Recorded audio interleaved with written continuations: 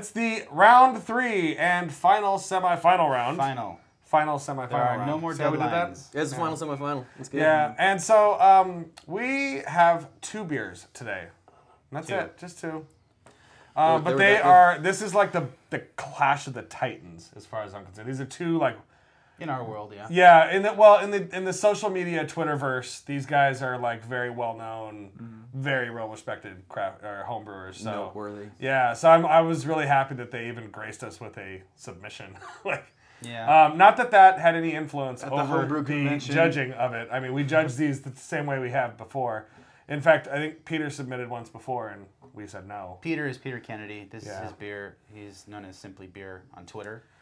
So Uh, he said he took our uh, no, and he told us. I like how go. we're talking about yeah, Clash Clash of the Titans, and no one knows what we're talking about. Yeah. This is Peter Kennedy's beer. Uh, this is uh, uh, Dark Helmet, and this is Kelsey McNair, his beer, uh, Hop Fu. You might know him from such beers as Stone's San Diego County Session Ale that Yeah. they did with I think was it.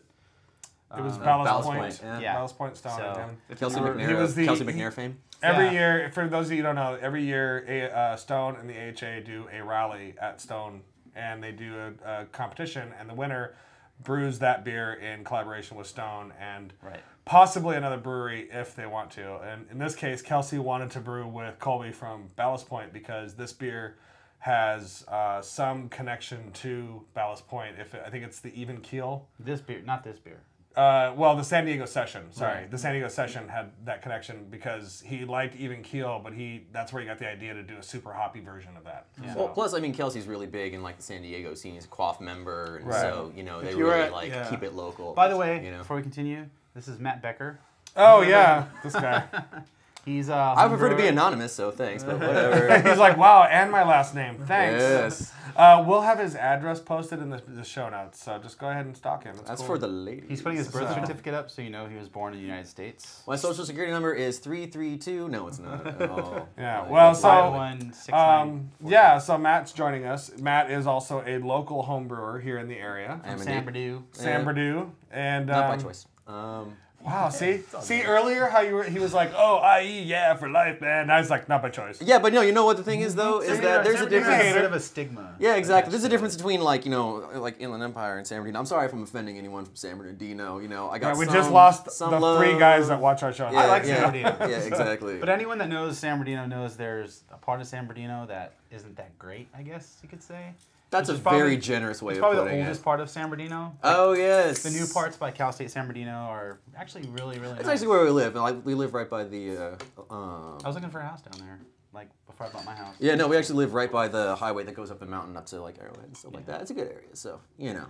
Anyway, he's from the So IE. that's uh, that's about San Bernardino. Yeah. And uh, who thought we just were, lost who, everyone on the Yeah, who thought right we now. were going to learn about San Bernardino today? Not me. I was just waiting for you to pour the beer, is all. So, So yeah, you we're, what we're drinking is Hop Fu. This is an IPA um, from Kelsey McNair. from Kelsey McNair, and I poured myself the biggest glass. Mm. That's Um, okay.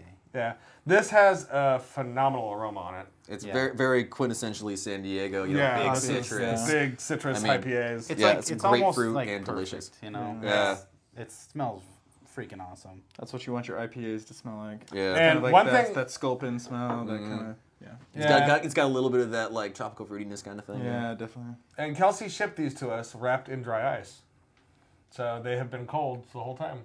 I thought that was really cool. I was Yeah. like, oh, that's Man knows how to treat his IPAs. He's hardcore sure. like Yeah. that. Yeah. So, um, before we drink this, let's cheers to Homebrew and to Kelsey and Peter. Cheers. Cheers. Thank you for being our last two entries for this this yeah. round. Totally. Two great entries. Mm-hmm. But uh, yeah, like you said, there's, there's a lot of citrus on this. A lot of. Uh, Oh God. what, do Yeah. you, what do you think the hop bill is on this? Oh, it's hard Yeah. to say. You know, I mean, there are so many different combinations that could put out this kind of delicious. You know, and I don't know if he wants us like throwing that out there. Well, he It's a sent it to me, but proprietary I, I. I, I also forgot that piece of paper at home. Yeah, I imagine. I'm gonna say I do that a lot. Cascades. I forget things, leave them at my house. Microphone cables, beers, Yeah, uh, whatever. that's okay. So, but anyway, it's got a it's got a great hop aroma on. It's very citrusy, very Oh. very much in like you, you get that nice blast on your nose and on your mouth as you're drinking it. Yeah, for sure. Um, It's yeah. got. I mean, the first thing it hits you so much like Yeah. citrus peel and like that kind of. It's almost like pithy, but in a delicious way. right. You know, it's super And dry. there's none of the there's none of the pucker like the what do we call it the throat rape. Yeah. Yeah, Right, uh, it kinda get gets you back from, there, or uh, just what's what, what hop it? was that? That Oh, Chinook. Chinook. Yeah. Yeah, Chinook will tear your the face apart. rape hop. Yeah. Yeah. Yeah, but no, it's nice. I mean, the the, bitterness is the bitterness is nice and firm, but it's not like too thresh, you know, you know, palate thrashing. I guess you could say. No, it's, it's, a great. refreshing beer. Finishes nice and nice and dry. Um, the hops are like the taste of the hops and the smell of the hops are perfectly balanced. Yeah, So how many of these could you have? Um, too many. I, Well- yeah, I think I think this is like a seven percent. I want to say, so it's not super high in alcohol, but it's high enough that if you have three or four, you're gonna be Um, loving life. You're gonna notice. yeah. Yeah, we have well, People will be far more attractive than they really are to you. So alcohol taking out of it, like how many of these could you have before it like overwhelming hoppiness? Oh, I could drink these all day long. It wouldn't bother me Yeah. the least. I'm that kind of Yeah. happy. I don't know, I know what you're strong, saying. but it's like Yeah. it's There- refreshing enough. I could I know what you're alluding to though, because there's sometimes when I'm drinking really hoppy beers and IPAs and stuff where it's just like, you know what, I am hopped the f out. Like I do not want to drink any more hoppy beers. Yeah. I want Yeah, just so I can only have in a Belgium. mild. yeah, And I want a that's a- freaking sour. Not to Right. name names, but I mean, like Ranger does that to me, where it's like I can drink three or four of them, Really? and they're really good. But after that point, they start to get salty. Uh, okay. You know, I gotta say, I'm like that with West Coast. Like, I love West Coast, but it's not one of the ones that I can have like you know four of if Right. I'm at home and not driving. Um, but if I am drinking and consuming safely exactly, home. exactly. Um, But uh, you know, this is definitely something I could drink multiple bottles of. absolutely. Easily. Absolutely. Yeah. Given the you know the right circumstances. And this is just a single IPA, right? Mm-hmm. yeah, mm-hmm. I guess. I mean, it tastes. We're gonna have the like stats put on the screen. Of Yeah, hops it's in my good. mouth. there will be information somewhere floating Yeah. around. Yeah, if you so- watch the last couple, it kind of comes in from like this side, I think, or this side, and you'll see everything. After not having had a sip in a while, because I drank it way too quickly, like it just feels like I had a hop pellet in my mouth. And it's just like kind of like I spit It's it like all that- out. it's like that and hot just that, that taste that's still on your tongue, you know? Yeah. it's kind of there. I'm gonna throw out that I'm getting a little hint of Simcoe. I may just destroy my reputation right away, mm-hmm. but I think I'm getting Simcoe on this. I want to say. I want to say, if I remember correctly, and I probably don't because I've been looking at a lot of hop statistics lately. But like, I think it's Simcoe, Centennial, and Amarillo. Nice. So I, but I'm not. He could be know, completely wrong. I could. Yeah, I'm probably exactly. am. But you know what? Even if not, I mean, like that, like Simcoe Amarillo combo is so magical. Right. You know. It works really well. Yeah. Great exactly. beer. Good job, Kelsey. Well done. Way to go. Well done. Um, so now we're gonna go to the other side of the country, to the East Coast, and we're going to be drinking a Schwartz beer. Schwartz. And he he totally went with the Spaceballs reference with the name. It's called Dark Helmet. And uh, if you don't watch Space or have never seen Spaceballs, then you are not allowed to watch our show and shut it off right It now. confused me as a child. I was like, why is that helmet so big, and why is that the guy from Honey I Shrunk the Kids? oh, Dark Helmet, your helmet is so big. It's not that short. I know. Yeah. Well, at that Mel Brooks kind of has that effect that on like Yeah. you know. He's Uh-oh, that size? Watch your watch your Rick Moranis? watch Whoa. Your- Brad, Nice Brad save. distracted me. Matt was here to save the day. Nice save. I got a little bit of spillage, so you know. So Peter brewed us a Schwarzbier. It's a, uh, and if you don't know what a Schwarzbier is, I don't know it's what a a, Schwarzbier is. It's a dark lager from Germany. Schwarz. I like dark lager, Schwartz. black lager better. Yeah, that's the American way to say it. Yeah. Like And I like juxtaposition. Juxtaposition was a black pilsner, a hoppy black pilsner. Right. Um, so they Um, were the, the- first American brewery to do that. Midnight Sessions from um, Port is Yeah. actually like a Schwarz beer. They take the second runnings from the uh, the Serpent Stout, I think, and then they just throw lager yeast at it, and Right. you know. So it's a it's another relatively easy to find sample of the style. I don't even know if you can find any German imports. What I like about Really? Schwarzbier is, is that they kind of bring a nice like uh, when you when you drink a Schwarzbier, you're you're looking for that lager characteristic, that clean, crisp, lager-esque feel to it. But the the Schwarzbier style brings in kind of like a smoother mouthfeel, mm-hmm. um, a little bit more of like the chocolate and just a hint of the coffee in the back end. It's almost like a perfect marriage between a porter and a, a, a lager. Yeah, but it's still super sessionable, you know, right, like just like any other German super beer. low, yeah, super low mm. alcohol usually, and they just they they pair really well with sausages. Sausages. Mm. Yeah, like German sausages go so freaking good with this. That's very nice. No, it's interesting having that like you know, roasty kind of characteristic, but not having that, you know, fruity ale ester behind Right. it. You know, it's like And, clean you know- but roasty, which is an interesting kind of. And what's really mm-hmm. cool about them is that if you get like a, a bomber of a Schwartz beer and you go to a party and someone has like a 12 ounce bottle of Schwartz beer, you can go up to them and be like, I see your Schwartz is bigger than mine. So, mm. That's what Steve would do. yeah. yes, Yeah. yes. That is a 'Cause I really cool campy- reason to Yeah. buy Schwartz Yeah, beer. so- yeah. Well, see, I'm more, I'm, By I'm cool, I more mean like, opposite of cool. I'm more, Nice. I'm more friendly. Just come up and be like, "The Schwartz is with us both." It's with us both. So yeah, but so this was this was a fantastic entry, and uh, we want to thank everyone who submitted. Um, we're looking forward to judging the final round, which is going to happen on July 4th. Yeah, people have already started tweeting about their organic brews that they've Mm-hmm. brewed and shipped out. I'm excited. Yeah, it's gonna be awesome. So we're gonna actually be up there July fourth in San Francisco. We're gonna be The Fourth of July. Fourth of July. I'm take. I'm getting rid of my holiday for you, homebrewers. Just so you know. Oh, what a What a what, a a, sacrifice. what a sacrifice! I have to go to San Francisco and drink amazing homebrew. Someone who doesn't celebrate holidays. Please feel bad for me. Poor, Someone who never bastard. celebrates holidays. yeah, well, that's I have fair. to give up my holiday. So, uh, but yeah, Bill and I are traveling up, and uh, Bill and uh, Daniel from Bison Brew will be doing the final judging. It'll be proxies. They don't know which beers are which.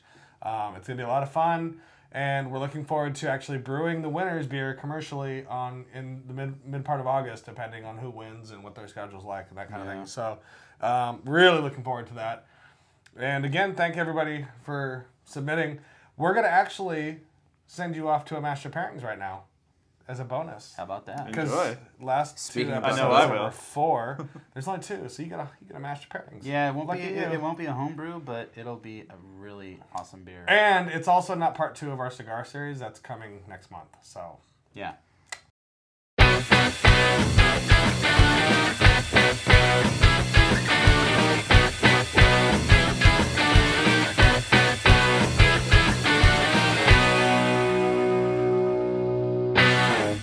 Hey everybody, welcome to another Master Pairings with me, Dr. Bill, and I have Stephen with me today. Woot!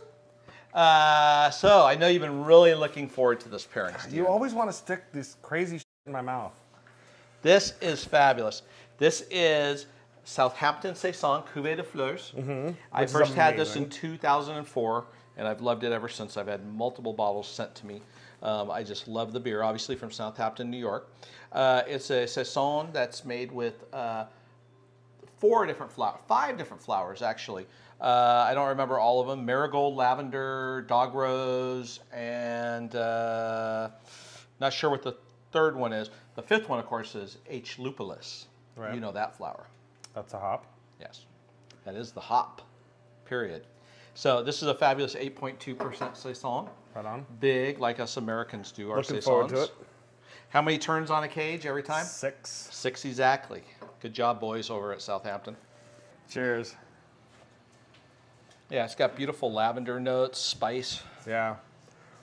Obviously, you can smell a lot of the flower quality, the floral quality to it, but more so than the normal kind of floral quality you get off an IPA. This is very like walking through a So garden. good. A great American Saison. We got these great snails, or Great. He says, escargot. he says great. Escargot. Yes. so uh, these are wild helix snails imported from France. Wild helix. Don't be afraid of them. Are they faster than normal snails? Obviously not. um, don't be afraid of them. That's green though. They're like Vulcan Well- snails. The snail's a snail, first of all. All I've had snails with just nothing to them, just seared on a grill Right. in France. But I've had I've had escargot before. Right.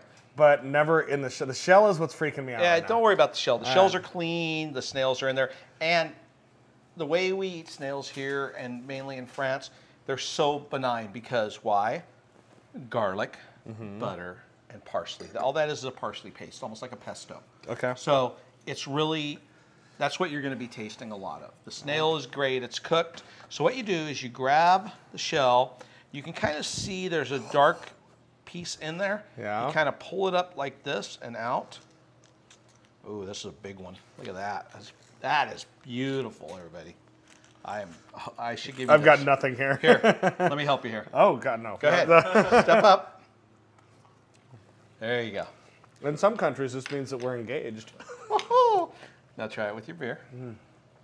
Wasn't that good? Oh, good. I got another big one. The texture is a lot better than I'm used to. Um, snails, when you order them in a restaurant, kind of come off a little bit like snot. But this actually has a very meaty, very delicious quality to it. I don't know what McDonald's you're getting snails from, but uh, yeah, no, they're not like oyster, raw oysters. They have it. Did you find it in there? Yeah, I did. And they're gotta, it's, it's all about the wrist. You got to twist and come out. and they're oh. just delicious. They are They're really good. God, I hate when I eat my words on this show. But how are they? Get used to it. Oh, it's really good. And it, this is a beautiful pairing with this beer. The, the, It's so sensuous. the parsley pa- uh, paste kind of brings out all the floral notes in this beer again. The garlic lingers in the background the whole time with the Mm-hmm. butter. It's just, it's just a subtle, amazing pairing. It goes really well. Look at you, can't stop now. I know, seriously. I'm gonna like I'm eating them all. Deal with it. Not bad. Now that I'm an Um, expert in pulling them out. even with the, uh, Now, if you hold this up to your ear, can you hear the ocean? yes, but only the Atlantic. Only the Atlantic. Um, six of these, even with the butter that's in them, the mm-hmm. garlic thing, they're they're very high in protein, and they're actually probably only about 250 calories for six of them. right on. So it's a perfect little appetizer when when you're with somebody, date, romantic date, for example. Eat that escargot. And apparently, you can feed them to the other person. Yes. That wasn't awkward at all. I think it goes great though. Like Well, thank you uh, once again for opening my palate to something that I would not normally have tried. Good. Glad to do it. Cheers. Thanks everybody for coming to another Master Pairings. All right, so we're back for Master Pairings, obviously, because we're here. Wasn't it talking to you, rad? and uh, you're not in Bill's kitchen anymore. I think in uh, that Master Pairings you had some kind of shelled item with green stuff in it. Mm. Was that the time that I had the green stuff? Yeah. Because that creeped me out. I didn't. No, that was the that was the lobster one we did a long Love time shelled ago. items. and No, green yeah, the lobster is when we had the innards, whatever it's called. remember- Oh, that was gross, good. too. No, that was I gross. Well, that. it was gross putting it in my mouth. It tasted phenomenal, but Yeah. it was gross. No, but those made for really good pictures. Like I remember taking the pictures, going, "This Yeah. looks cool." It's like a show with fluorescent green. Good stuff. in. Matt, do you like eating whatever? Like, are you open-minded? will That's like a weird turn on. That's like a weird like way to hit No on somebody. homo. Yeah. Hey baby, do you like I to will eat, eat stuff? anything.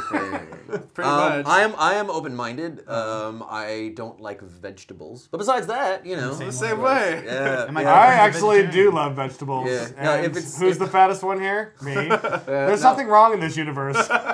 so, Well, you like vegetables and other. I like vegetables and a plethora of fast food joints. So Vegetables on my hamburger. Like he'll have a plate of vegetables, but then there's like a tri-tip steak next to it. no, stop it.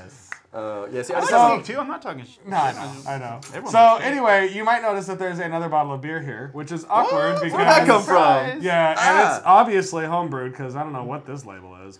that was a. if you look really carefully at the Lego, le, lo, uh, the logos, There's no Legos on the this beer. Legos. If you look very closely at the label, you'll notice that It's Matt flashcard. Becker's name is on it, who is this guy right here. Hey, Matt Becker, this is your beer. We're gonna drink it. Yeah, we're not having it as like a consolation prize on the show. Yeah, Matt did enter our homebrew competition, um, And he actually won. Yeah, he actually did win. He was you were supposed to be here on the, the, the thing. But we kind of then met Matt and hung out with him a few times, and we fell instantly in love. Turns out I'm awesome. That's Yeah, turns out he's really good in bed. Oh, just kidding. Wow. Yeah. he's, just, he's just heard Level. rumors. Yeah. He's just heard rumors. So um, we, John and I and Brad and um, Bill have been talking about adding someone to the show because we want to do uh, we want to have a little more flexibility for when one of us is out of town or when we want to do four man shows or or perhaps You know, a whatever, Of, yeah, a so- bit of blogging. Want to do a potato sack race? Right. You know, so, like another person. New Brew Thursday has gone from four guys to five. Yep. We are now the Five Guys Beer Show. Yay. But we're not called that. we don't want to get sued by Five Guys. I was There's gonna an say, did you just asterisk on change the bottom of the screen. that? Not actually the five guys. not actually the Five Guys Beer show. We're changing our name to Five Guys Drinking Beer. Oh, Matt and Eric, don't sue us for that either. Uh, so we're gonna pop his saison that actually won our no, it's not a competition. saison. It's, it's American Wild. Oh, that's right. Well, that's it right. actually, well, it, sort, it actually sort of started off as a saison. The malt bill was actually um, a Bambier clone, Okay. but I ended up Did it start out carbonated? Oh, oh, it's it, you know it's too cold. I That's can give I can give him crap It's now because he's on the show. Yeah. Um, no, but it was um, started off as a Bambier clone, and then I didn't have the right got some- yeast, and so I just threw some like you know wild yeast at it and let wow. it sit for a while. It smells really good. Yeah, it's Thank got a great nose on this. I like this. You know, actually, what part of that was, was wild. um, yeah, it got to um, about like six months, and it just wasn't really doing anything. And the Falconer flight. Um, So you got you got on out. your knees. You were like, "Do something with your life." Yeah, exactly. Do you always want to live in a carboy? No, that's, that's that's not how I roll. I was coaxing it. I was like, please, baby, please, do Yeah. something. I got for it a girlfriend. Yeah, I thought maybe that would motivate it to get out of the carboy, but no. Yeah, no. You mean all you got was it a hooker? sit there. I rented it a hooker. He has plastic carboys and he got a I got some hooker carboy. yeast and tossed it in there to see what would happen. I'm Yes, basically the brewer Ah.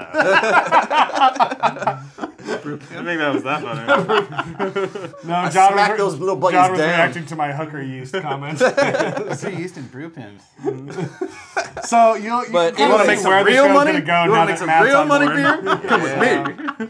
But uh, anyways, no. So I dry hopped it with like two ounces of Falconer's Flight, and it gave it this really nice, like lemony kind of thing. So uh, Yeah, I really so- like this. This is a this is the in my opinion this is one of the most perfect summer beers I've ever Can we had. get a cheers? Cheers, Yes, Matt thank- Becker. Welcome to the show. Thank you so much. I'm so excited. I'm really glad to be here. So please, New Brew Thursday world. I don't know what to call you. I know there's like you know Twit Army. And, Friends. New Yeah, Brew friends of New Brew Thursday. Welcome Matt to the show. His Twitter handle is at Small Batch Brew. yes, indeed.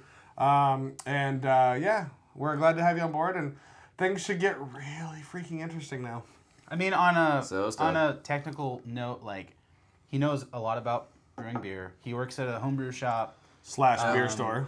He blogs Yeah. about beer. Oh, that's, that's, basically- that's O'Shea Brewing Company. in basically should be on the show more by than any of us should be, but Yeah, well, I no, guess it's he'll be it- our it- show. it's like a, a missing like element. missing component, yeah. Because me and Steve are new to home brewing, Brett as well. I mean, you, you're very new, but um, you know, it's nice to have Okay.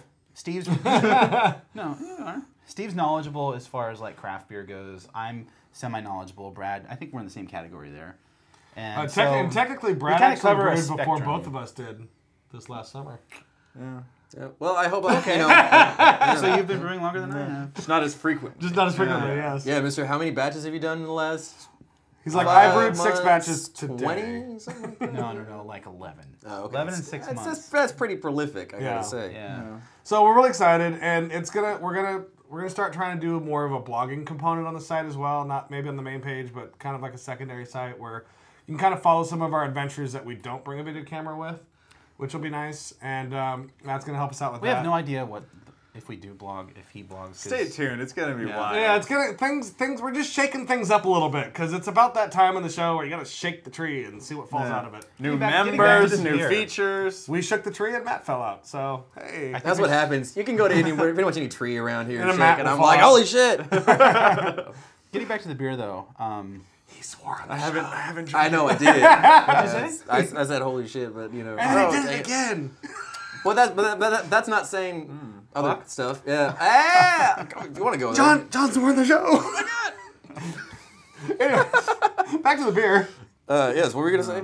Oh, it's it's got like a funk on the nose that Oh, yeah, It's- it stinks. definitely got a little fun. It's- Yeah, Matt's- no, it really fault. does. And you know what it was is um, Jolly Pumpkin because I actually um, dumped some dregs from a Bambier in this beer initially, and tell people what a Bambier is. Oh, Bambier is um, this is modeled off of a beer by um, Jolly Pumpkin. is one of my favorite breweries out of Dexter, Michigan. Um, if you ever read about them, they have a pretty wide catalog of beers, all of which are soured in one form or another. Right. Um, some of them sit for less time in barrels than others, but you know everything is on oak, on bugs for a certain amount of time.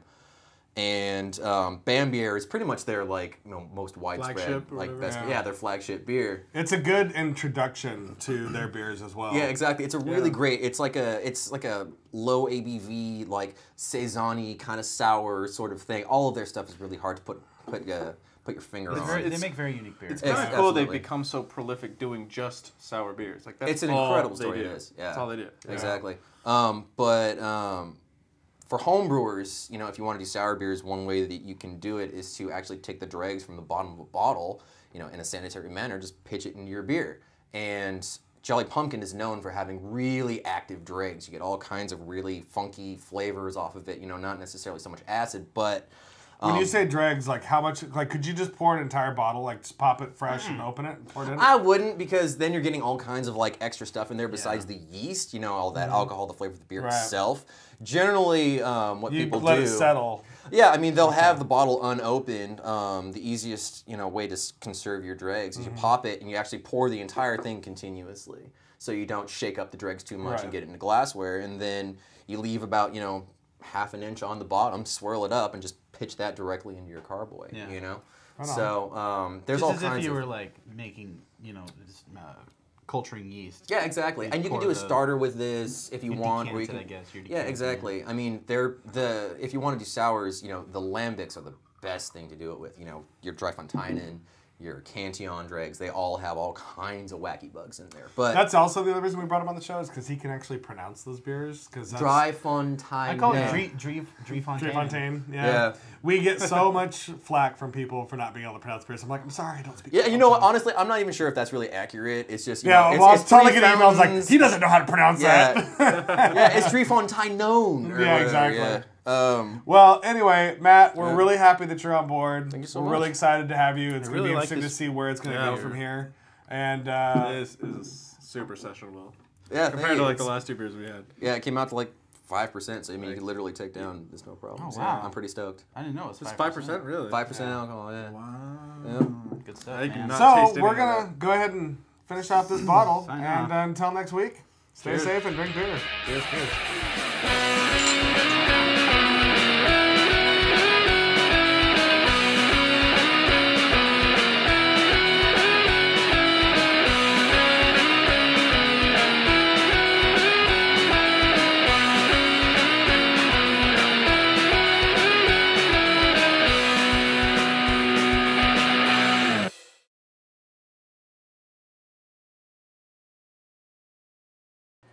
I get the lavender. Yeah, Lavender lavender. just- yeah, it just it. Eh, But it's not. I've had lavenders before that have been. Uh, somebody uh, just burnt the cut. Somebody just burnt the toast again. Fire alarm would go off again if it could.